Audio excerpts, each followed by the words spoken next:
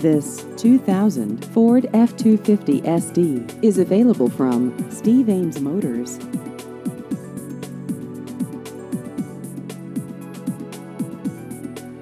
This vehicle has just over 172,000 miles.